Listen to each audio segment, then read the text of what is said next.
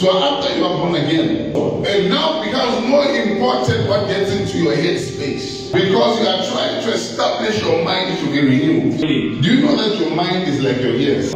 It cannot reject. Once a thought is entered, once an idea is entered, you can't stop it. It will run wild until an opposing idea comes in. You must be careful what you entertain in your mind because your mind